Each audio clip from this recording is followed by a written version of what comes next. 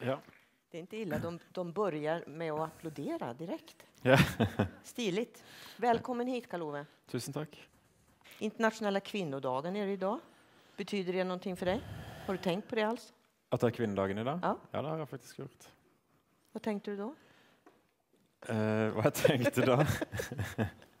at det er tur at det fins kvinnor? Ja, nei, det kan du si. Ja. Ja.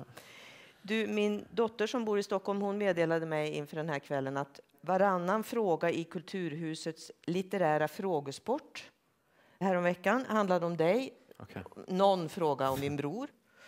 Um, Med det vill jag bara säga att uppmärksamheten kring ditt författarskap och din person har ju blivit enorm och det ska vi prata en del om ikväll. Men jag vet att den sista boken som du sitter och skriver just nu, handlar den om det här till en del?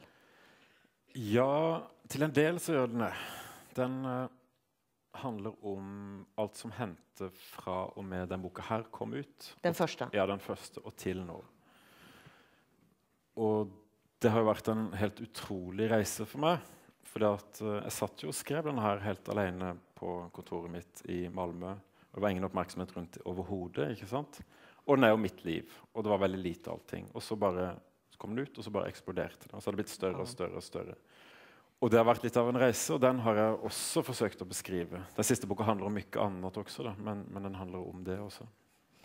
Men du, når du sier at du forsøker å skrive om det, For jeg forstår at att du, du leser ikke alt som skrivs om deg, eller du forsøker å undvika det, Ja. så handler det om, om en indre resa da, på et sett? Hva som har hendt med deg og ditt liv og din syn på deg selv? og så. Er det sånt du skriver om? Ja, det også, altså.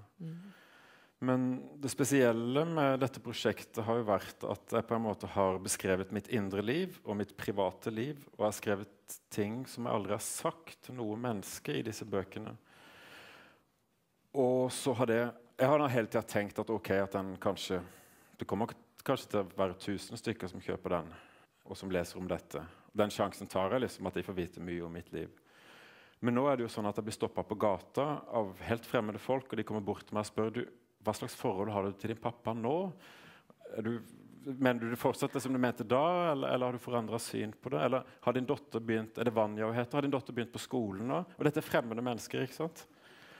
Og, og det der, for det er jo det jeg er opptatt av, er nettopp forskjellen mellom det private og det offentlige, og hvem vi er for hverandre og hvem vi er for oss sjøl. Og sånt. Og når jeg ga ut disse bøkene, så har alt det blitt satt i spill på en måte som jeg aldri kunne ha forutsatt. Nei. Og det gjør jo noe med mitt bilde på meg sjøl, men det gjør også noe med hele, hele forholdet mellom eh, Grensene mellom det private og det offentlige, og hvorfor de grensene fins, og hvorfor det er farlig å bryte de. For det er farlig, for det merker man nesten på kroppen når man holder på med dette. ikke sant? Og hva det egentlig betyr, alt dette. da. Og det, det det Som du forsøker å komme åt ja, forsøker å beskrive? ja, og forsøker å på en måte finne ut hva som egentlig Det blir nesten som et slags konsept.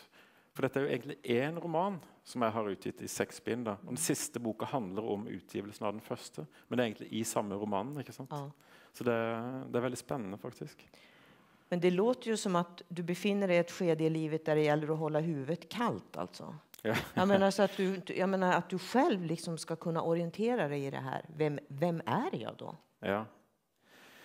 Men når jeg begynte dette prosjektet, så les, jeg bestemte meg med en gang at jeg ikke skal lese resensjoner, ikke lese intervjuer, ikke se på TV, ikke høre på radio, ingenting. Og det har jeg holdt nesten 100 da. Og det har vært en helt nødvendig måte å beskytte seg på, for det har vært veldig mye. da. Når jeg begynte dette, så var jeg også veldig, veldig eh, jeg kunne bli helt satt ut hvis det sto noe med i tidningen eller en dårlig resensjon. Eller kunne til og med være en god resensjon. Jeg kunne gå og gruble på det og tenke på det. Og jeg googla meg sjøl og fulgte med. og sånt, ikke sant? Så det var en enorm lettelse å bare slippe alt. Og nei, De får skrive hva de vil, de får tenke hva de vil, de får gjøre hva de vil. Bøkene fins jo, de er gjort eksakt sånn. Og de står du for, men øyet utifrån, det får folk holde på med der ute. Det legger ikke du deg i, så å si. Nei. Men det påverkar deg sikkert ändå. Ja, det påvirker både meg og min familie, tror jeg. Det gjør det. Men jeg prøver å, å skjerme det så godt som mulig. da. Mm.